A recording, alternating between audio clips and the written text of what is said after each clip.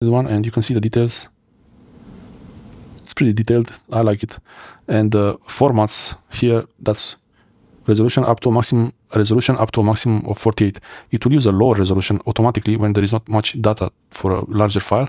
So that's a really nice option where you can have you can have a larger file or a smaller file based on the details of this photo. So here is 12 megapixel and this is because there wasn't much information in the picture. It's automatically deciding that you can look at the you can look at the camera settings you open the settings up and here go to camera you have lots of options for for this for video for everything there but look at formats for photos especially you can choose between HEIF or JPEG. You can choose between HEIF or JPEG.